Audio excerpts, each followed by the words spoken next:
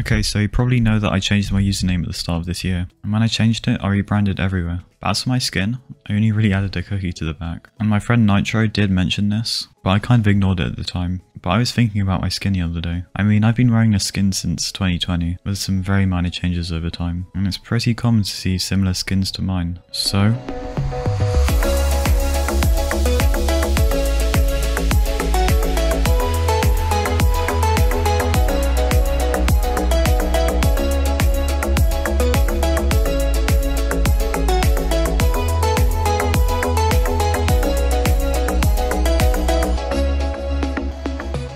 I've done it.